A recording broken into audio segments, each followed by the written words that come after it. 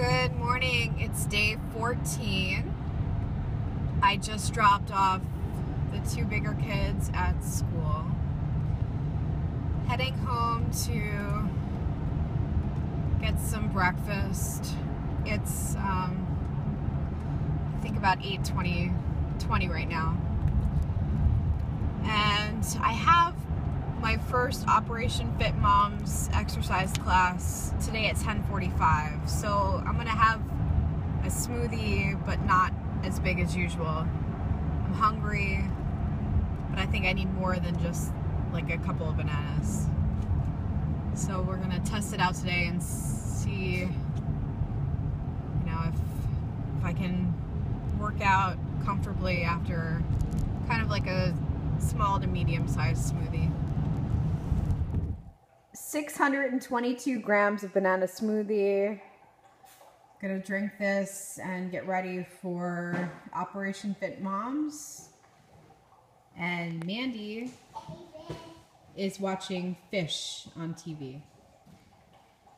Yes, she likes to watch fish.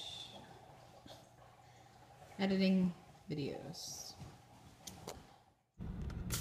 We're on our way to Operation Fit Moms. It's 10:30 in the morning. Class starts at 10:45 and we'll be there soon.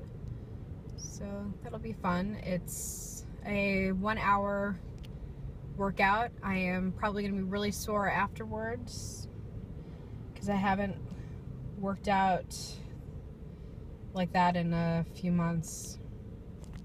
Should be interesting.